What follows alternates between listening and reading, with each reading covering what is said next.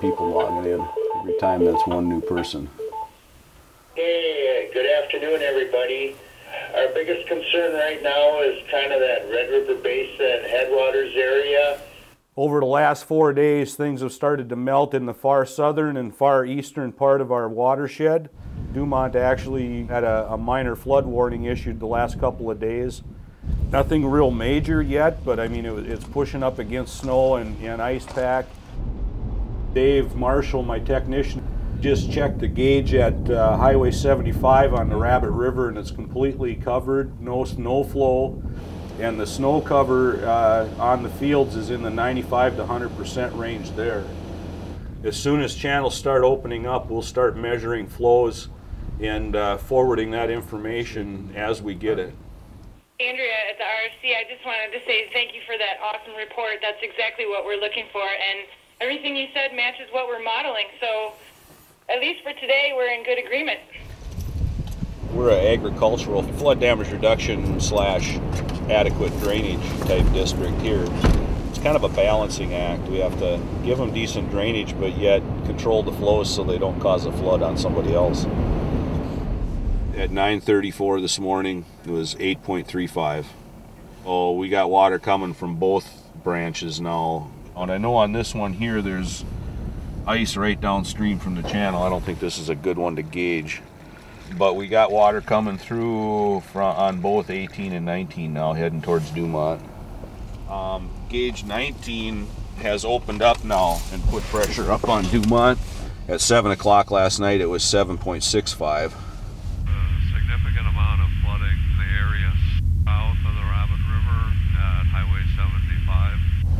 during any flood event, you know, I get up in the air and try to figure out how much water is really going to run off, and then from that we can kind of project what the likely downstream impacts are. It's a quick way to kind of get a sense for how, how big a flood you're likely to have. And then you can see problem areas that develop as they develop. As a basin with the water flowing north in the Red River, its inherent problem is that we're, we don't have the ice out of the channel. At times when we're flooding in the Bois de Sioux watershed, there isn't a drop of water yet in the Fargo-Moorhead area that hasn't started to thaw. They're 90% covered up there with snow, up up in oh. the Rabbit River area, up oh. by Campbell and that. Yeah, that's probably where he Oh, man. Eight inches of moisture in the snowpack measurements we were taking in oh. Campbell area. And we were like four to... Four, four to five, yeah. yeah. You go north of Wheaton, get north of the, the White Rock Dam Road, the fields are pretty much white yet. Yeah, there's a lot of snow out there yet. Yeah. Because they say spring comes north seven miles a day. Well, we're sending it in to the colder areas. It starts melting down here. It might be 20 to 30 days difference between when it starts melting here to there. As the melt starts and contributing to the Red River, it starts at the Bois de Sioux watershed. Down here, I think we're going to be all right. Up there, it's going to yeah. get kind of nasty, but. I see they got a pile of sand over there. Are they going to fill some sand? Sounded like I talked to Orville earlier, and he said they were going to come over this evening and fill up a bunch of sandbags just in case. There's a storm that's a brewing on the sunset sky tonight. Same storm that's been a brewing since we first saw the light. So grab your fellow man, take him by the hand, get your head out of the sand, and head for higher land.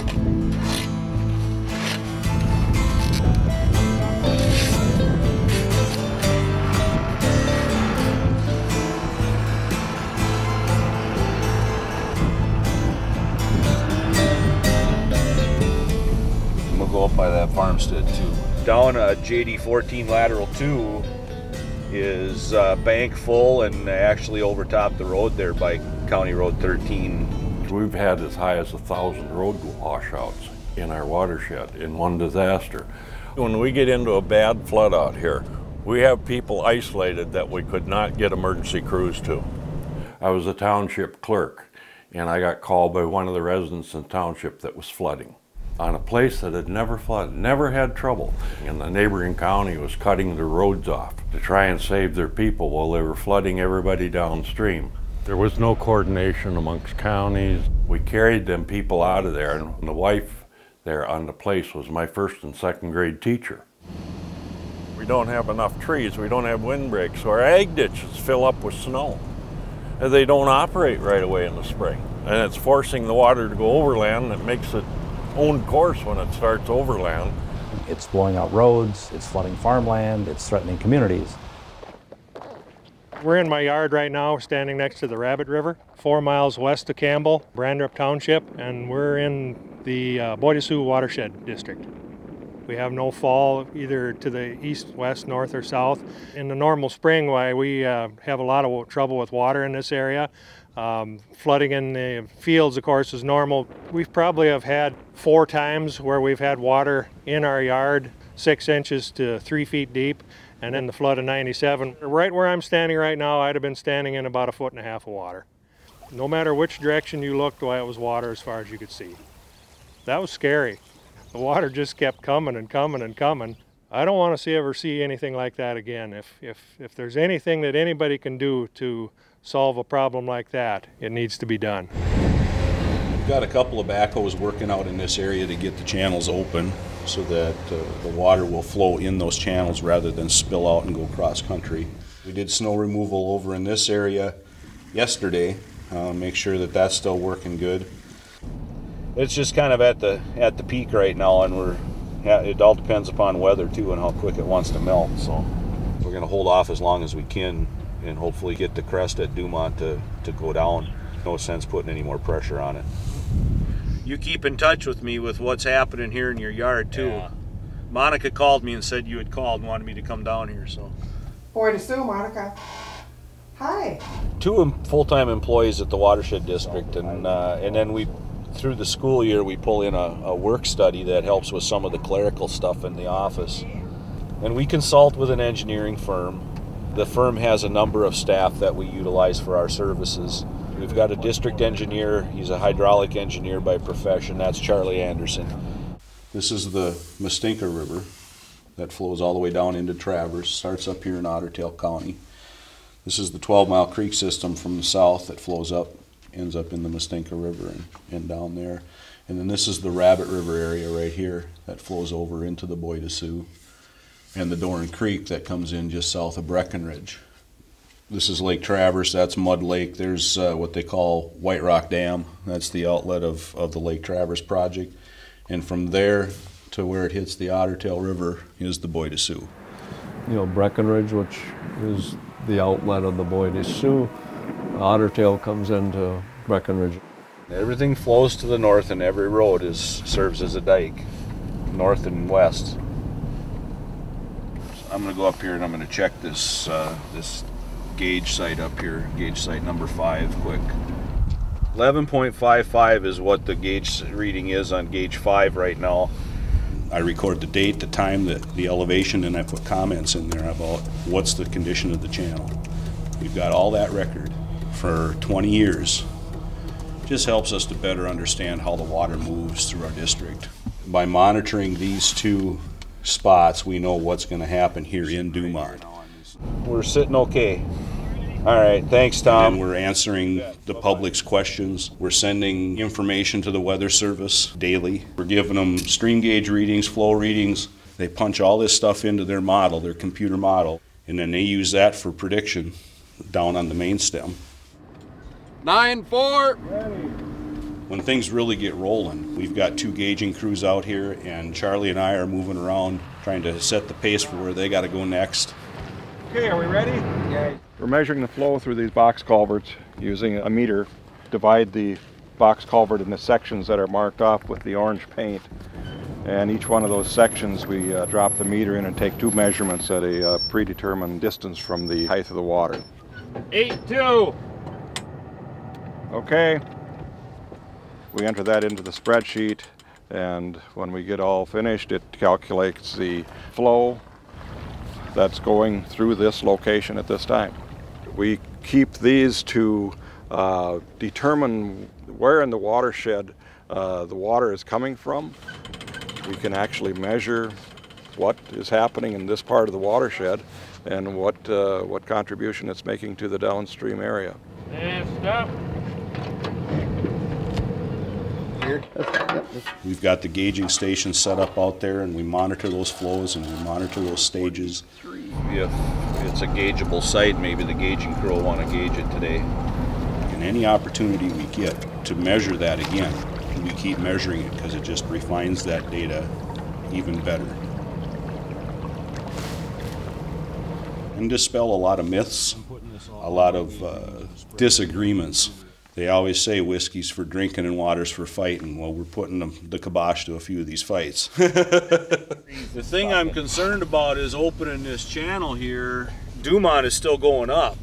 Yeah, a day or so because it's already up now. It's not gonna. Yeah. I'm thinking we'll keep an eye on this and I'll keep checking them gauges, you know, at Dumont and then a mile south here and see what they're doing. When they start to drop, then I think we could pull this open if we have to. Yeah, and it doesn't.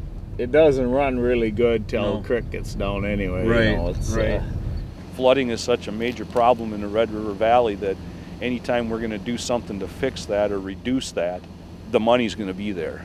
We'll find it. We live in an ag society here, but we, our population centers are Fargo Moorhead, which extreme flooding happens. And ag drainage is going to take the brunt of that blame. All the people in the valley, they're part of the problem. This is a basin problem, and it's going to take a basin solution. Retention Authority. The Retention Authority was started by the two large managing water boards from Minnesota and North Dakota. We needed to work together. The Minnesota side, the Minnesota Water Management Board, is made up of the watershed districts that feed the Red River from the Minnesota side. We spent about a year and a half sitting down with the environmentalists, and we hammered out a mediation agreement. How a watershed shall approach their impoundment areas and what we can do to enhance the natural benefits. We got away from political and we got to the science. Engineers from just about all the organizations, including the Corps, the DNR. No policy people can sit on that committee. That's a no-no. And when we deal from that, there ain't much to fight about. The fight's about over when you've got the science behind you. Since we've had that agreement, we have not had one lawsuit against DNR in the valley. Everything works together by project teams now.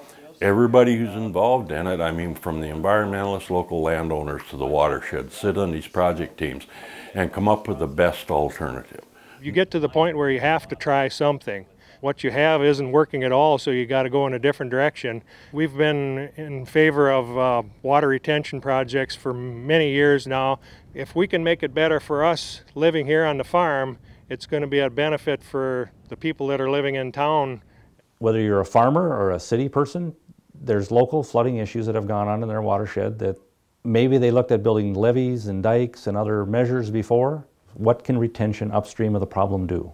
Hold that water temporarily. This, these are dry dams. We want to hold the water as the shortest period of time possible until the downstream flooding has subsided. That's what retention is. It's fairly common sense. We're looking at a, a basin-wide uh, River map here. Close to the river, it melts early. This kind of orange or area, that's kind of the, the hot spot. It's the snow that's melting and hitting the river coming in right when it's peaking, so it contributes to its peak. This is kind of the sweet spot on the North Dakota side, on the Minnesota side where we want to build projects because that's the river water that that's the most damaging to us because it hits the peak. A major emphasis uh, in the last few years has been uh, developing a, a flow reduction strategy for the Red River, commonly called the 20% flow reduction strategy. They picked that number from the 1997 flood in Grand Forks. If they would have taken 20% off the flow of the red that year, Grand Forks would have made it. And that would enhance a lot of the flood protection in the dikes that already exist up and down the valley. The way that is envisioned to be accomplished is through distributed storage and many smaller and maybe some larger projects throughout the entire Red River Basin. How many projects would be in there, we're not sure, but the goal is 1.5 million acre feet of storage up and down the valley. And each watershed has kind of an allotment or a goal of its own. It's a multifaceted approach to solve many local problems as far as where the sites can and should be, but also on the bigger picture of what the basin can do collectively as far as doing retention. for the Bois de Sioux to do its share takes about 100,000 acre feet of gate control storage. Our priority is to fix the problems right here in our own district. How much land is that going to take out of production? One acre foot is a foot of water on an acre of land.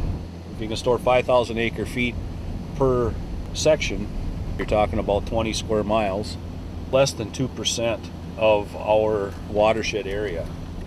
And we've got 26 different sites identified that we could control water in to reduce our contribution to the red by 20%. Any kind of land comes up for sale, I've got a map to look at and say, hey, that's kind of in the area that we might want to build a project.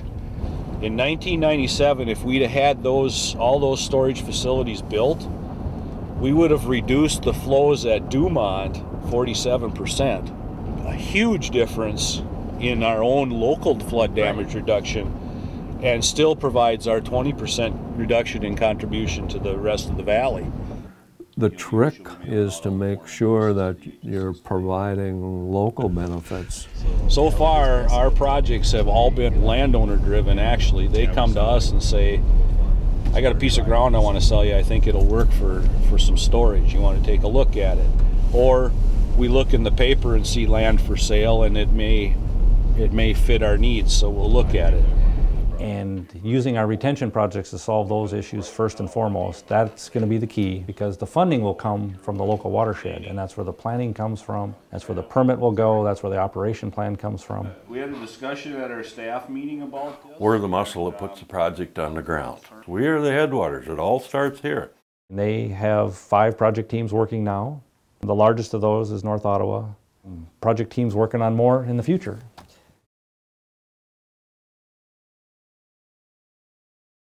Okay, North Ottawa is right down here. On North Ottawa, you know, the original idea there to, to build an impoundment uh, really originated with a water manager on the Bois de Sioux board. He had in mind maybe a quarter section or a half section where we could store water down in the area that frequently flooded. They used to call this the Tintah Slough. I've got pretty good aerial photos from earlier floods that show, you know, 10 square miles or so flooded out in that area. These are lands that were flooded most years. You can see that by how many owners there's been that tried to farm this land, how many ditches they've tried to get the water out of this area. A landowner came to us and said, hey, I got some land I want to sell. It's kind of marginal. You think you could use it? We took a look at the, the land. I sent the information over to Charlie and he said, yeah, I could build a storage area there. So our thought was to take that water that currently floods 10 square miles and try to concentrate it on a smaller area and then prevent any release of that water from going downstream and harming people along the way. I was looking at two things really in, in figuring out how big this ought to be. And the first, of course, was make it big enough so that you're sure it'll work. Gathering the water from a higher elevation upstream and then bring it into the impoundment area uh, through a diked inlet channel. That way we can store water up to about 14 feet deep and on an average about 10 feet deep over the, uh, the three square mile impoundment. It took a lot of convincing to get the people to, to go along with, with the ideas that we had. The local people in general were receptive to something small, but somewhat overwhelmed by the larger size alternatives that we were looking at. There were some doubters and some detractors, and certainly it was controversial at the time. Major landowner concerns on the loss of tax revenue. We went down to the legislature, we worked on it, we was able to get the watersheds the availability in the Red River Valley to, to do payment in lieu of taxes. Even, even ourselves, we were skeptical of, of whether or not something like this would work. We worked a lot with the local township board.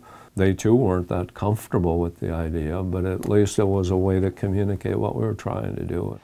When we do want to buy the land to put into a project, it is more costly. But you got to get down to the, the basic economics with the landowners to say, we're going to help some things upstream, we're going to help some things downstream.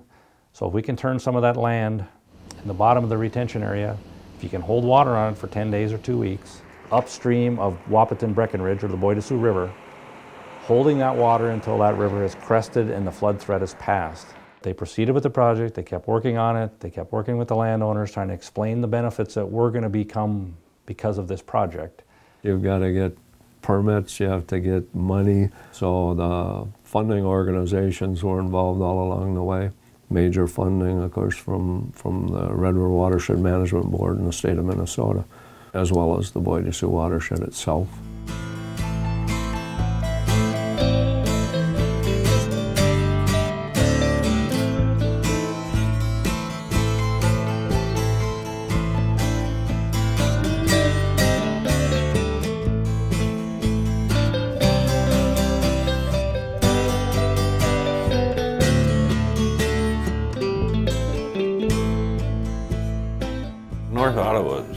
Process for 10 years in our watershed.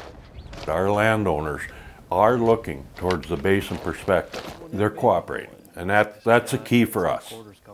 The North Ottawa impoundment itself is in the Rabbit River portion of the Bois de Sioux. The upstream area feeding it is outlined partially in this heavy line and then partially by the diversion channels that we, oh. that we built. That's about 75 square miles. The total drainage area of the Rabbit River at its mouth is about 320 We're driving up along the south diversion channel right now. We're in that half mile jog area. The diversion channel is plumb full. We've got eight and a half miles of collector channel or diversion channel brought then down to what we refer to as an inlet channel, which is a dike channel leading to the impoundment itself. The inlet channel is diked on both sides. It's about a mile and a half long. The diked inlet channel is what gives us the capacity to hold water up to about 10 feet deep in the uh, impoundment area itself. And you'll see the header channel that goes north. Everything on this side continues on its way. All the land on this side of us, on the left side of us, is now top of the hill. Here's the weir. We got water going over the weir now. So we're taking water into pool C. But I'm gonna grab a picture of this and give it to Charlie. We put this weir right in here so that we would hold water higher and it would run it north down that header. We call it a header channel. The impoundment is designed to capture and store four inches of runoff, the 100 year spring runoff event. Straight ahead now, you're looking at the North Ottawa project. The project itself now is three square miles. Two miles north to south, a mile and a half east to west. That's pool A and pool B and pool C. We've got about 5,500 acre feet of water stored now in North Ottawa. That's about a third of its gate control capacity. No shortage of birds out there either. Wildlife use has just been phenomenal. Once it's in the pool, we can shunt it in different directions and flood different parts of the impoundment. With the current configuration, if we did have more than could be handled by the one square mile pool, uh, it would start flooding in and start filling up that whole two square miles. We're putting everything we can into pool C on the far west edge, and when it gets full, then it'll start automatically filling into pools A and B. I don't know if we'll get enough water to do that. We might, but there's less water than for us to get off of pools A and B, and we'll take it off of there first so they can get in there and farm it, because those are all leased out. They they pay us to do that. This is our pressure relief valve. Before it would overtop the perimeter dike or this dike that we're standing on, it'll spill over this spillway. It can take the water out of here as fast as it's coming in. Following the flood, we drain it down as soon as the channels can handle it to about 4,000 acre feet. We've got six outlets that basically lead into ditches that were there before. There's some snows. There's, that must be the scouting plot. You fill up a great big three square mile bathtub, and when it's safe to let it go, you open up the drain and let it go. We've got six drains in our bathtub that we can open up, and depending on which way is better to send the water, north or west. We've never let water out of this project until the crest is passed at Fargo. So we're uh, We're probably 200 acre feet. Okay. The ultimate goal is to have it divided into nine individually operable pools. The entire pool, all, all three square miles, are available in the spring for flood control. Following spring runoff, we try to drain down the eastern pool, which is two square miles, and get it drained down in time to, to plant crops in there. We'll see you is about 400 acre feet in there. Okay. When we get the other partitions built in there, then we can more selectively decide which, which pools would be flooded in the event that you needed that storage in the summer. This one has been fully operational since 2010. We filled it in 2011 to within 200 acre feet of full gated control. It was quite a sight. It was three square miles of just solid water. This project by itself reduces the peak flows at Tintah by about 50%. The existing levee system that they have in town, you know, can now protect them quite easily. Since we put the North Ottawa project in, the town of Tintah has not had to sandbag a bit. Tintah used to be always a big problem area, and we've essentially eliminated the flood from them. Further downstream, the next place on the river is Wahpeton and Breckenridge, you know, and they have their level of protection built to a certain height, storing their water in North Ottawa. You can take some of that peak off, so they have more freeboard within the dikes and the structures they already have built. That's just a win for them too. And hence it will go downstream all the way to a Fargo Moorhead. And it's worked marvelously ever since it first operated. You know, 2009, 10, and 11 were all big water years in the valley. And again this year, it stored water. It's a great model from many perspectives. Everything around it now dries out three to four weeks earlier than what it did before. They were actually in the field that much sooner than what they had been. The water retention area that uh, the Bois de Sioux is in charge of, it turned into a win-win. It controls the spring runoff, and we've never had a problem with water since then. You have to realize there's two floods, a flood in the spring and a flood that could happen in June. In the summertime, which was probably our main concern, that's what we're looking at as far as the, the biggest benefit to get out of that is being able to hold that big rain that's upstream of us. It'll be metered out in a way that the river can handle it and still give us a chance to get rid of our water. If you run into a summer where it's kind of wet in the whole entire area, and upstream of us, why they would get a, a big rain, like a four, five, or six inch rain, why that water all comes barreling down the river without any controls to it, and then the river will probably uh, start backing up into our fields. And of course, when that happens, why our crop is, is pretty much going to be destroyed. If we get a big summer rain, it would wipe all of this out down here. It only maybe sit three, four, five inches deep out there, but if it sat for more than a day, it took the crop. That's a bad deal for this area. When farmers lose a crop, they basically lost the fuel, the fertilizer, everything that went into trying to grow that crop. Think it was the second week of June, we had about three and a half inches of rain come down and there was surface run off the fields. And all the surface runoff, it looks like a chocolate malt. It always does. I mean, the soil is just floating in the water going downstream.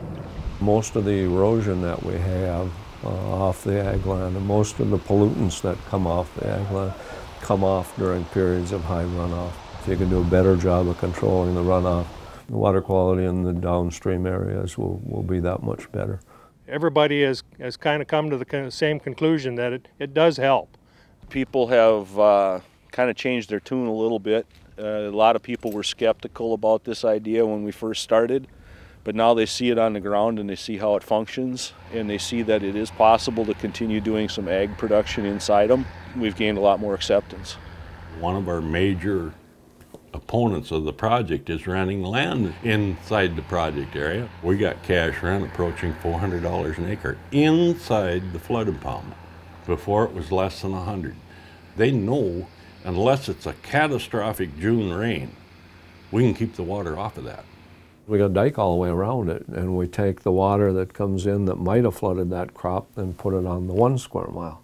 We actually produce more crop out there now on less acreage, and there's certainly less environmental impacts associated with that.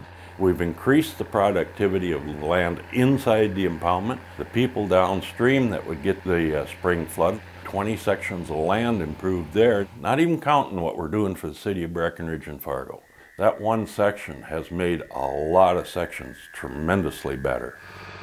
By renting it out, we have a fund, a maintenance fund for the projects, pay the local taxes, have a good ag economy. That's what we're all about out here, is an ag economy. The more projects that we can get like this, why the more help we're going to get out of them. We're proven to the ag community that we can use flood control units for flood control and still farm parts of them.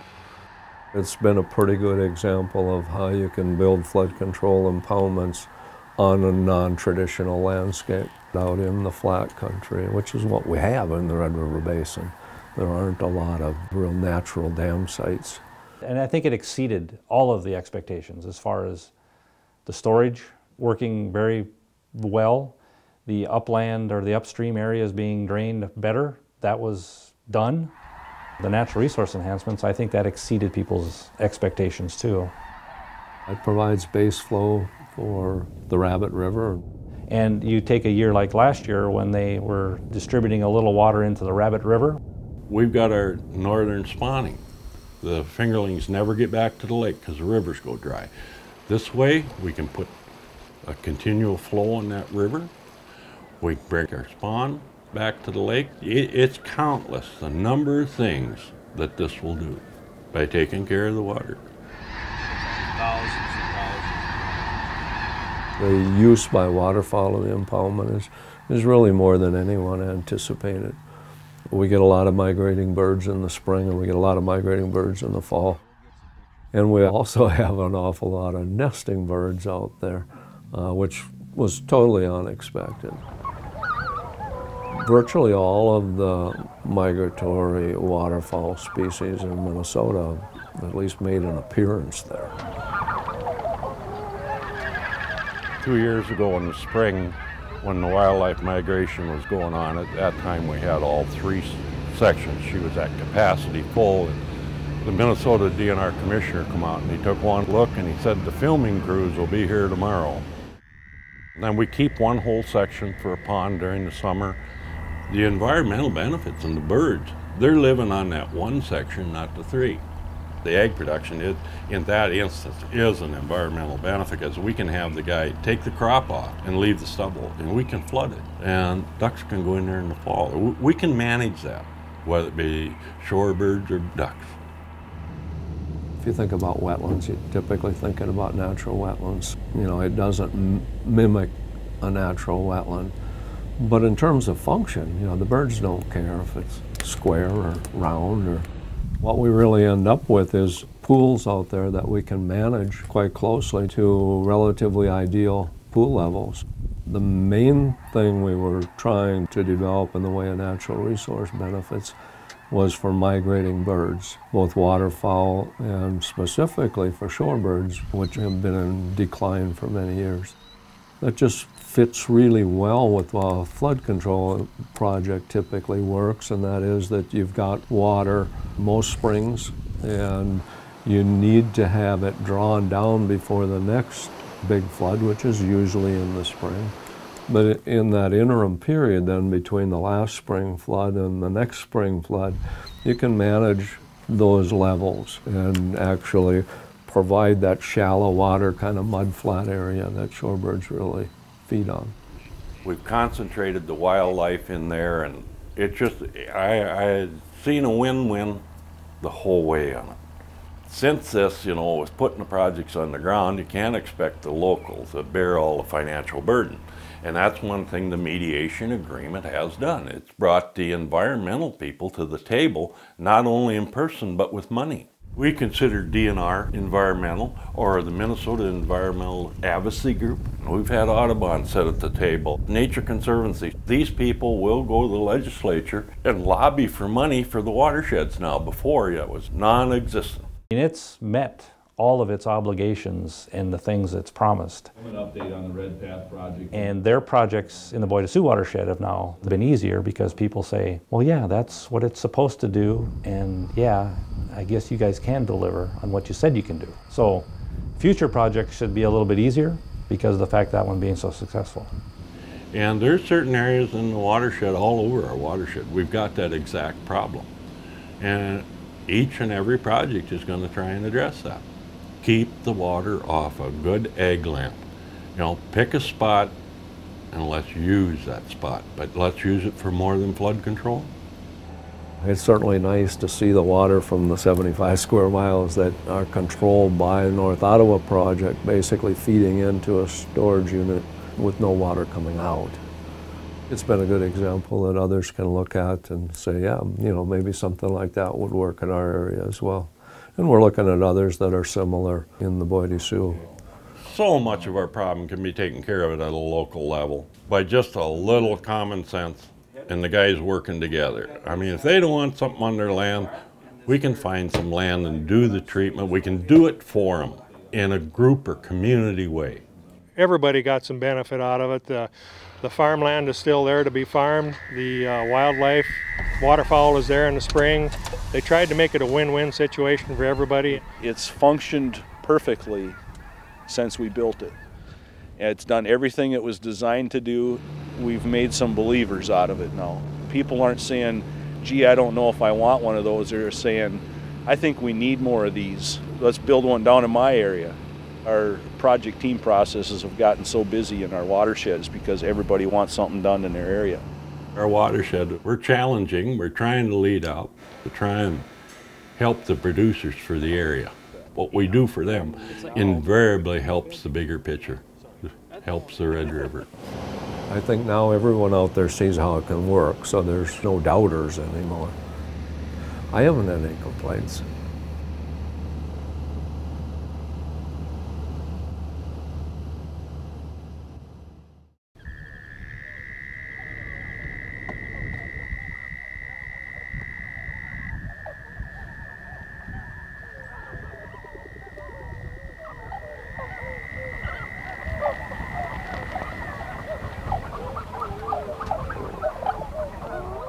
primary purpose of the North Ottawa Impoundment Project is flood damage reduction.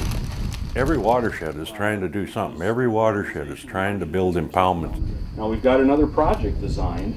The hardest thing to do is acquire the lands that you need in order to build these kind of projects. They're not built on what would be traditionally thought of as, as second class or, or wasteland. We're out in a prime agricultural area what I think the Bois Sioux Watershed District has tried to do is be quite patient about it and slowly acquire the lands that you need then over time and when you reach kind of a critical mass there, go ahead and build the project. A lot of projects like this add up to a meaningful reduction in flow on the main stem. If you ask most any water manager what's the number one concern in the Red River Valley, well, it's flood control. Actually causes flooding. But the water quality question that we've got to deal with. Anytime these impoundment areas come in, that's a sediment basin. We're dropping uh, suspended solids out. We're dropping a lot out of the water. Anytime we're doing this flood work, we're cutting back on stream bank erosion. Well, if we can give some relief to the flow on that, would reestablish their natural bank that's been eroded away. We're in the process of setting this up for biomass harvesting, cattail harvesting. By taking the cattails off them 600 acres, we'll be removing about 6,600 pounds of phosphorus. That's a lot of phosphorus out of the inflows to Lake Winnipeg. By doing that, we've taken 75 sections of land and done really their water quality work for them. Those owners in that area just had a big load taken off their shoulder. We should be able to put together areas in our impoundment areas to do a lot of work on the landscape to help farmers to do their share. To me, that's the win situation in water quality that I'm seeing for our particular watershed right now. A sustainable removal system, and we're doing it on a flood control project. I'm encouraged to see this work because this is a major step towards water quality in the Red River and beyond the water quality issues are coming to the forefront. Nitrate is going to be a coming issue because our water flows to Canada. We're getting to the day that the decision is going to come from higher up than us, probably the first ones will be the United States State Department and the Canadian State Department. We provide 30% of the water and 70% of the nutrients going in the lake. Something's out of whack there. At some point in time, this has got to be handled. To capture and go out on every farm and do what would be necessary to address water quality, would it be cheaper for the state of Minnesota to do regulations instead of incentives? And I think we best be prepared to try and handle something ourselves rather than let somebody else handle it for us. With the technology we have, with the smart farming, with the variable rate fertilizer, we can take care of it. Well, that's what you want. Probably the last five, six years I've contemplated doing tiling. We've told the landowners that are upstream from that project, they obviously have drainage problems too. They could do some drainage improvements up there because we have a place to put the water. In the very beginning, we drew out the plan for pattern tiling. My role when someone like Brian walks in is okay, show me what you want to do. I look at it from our watershed perspective and say, yeah, I think we can make this work. Maybe if we tweak the design a little bit here or there. As time went along, we just always had in the back of our mind we were going to put a shut-off system on it.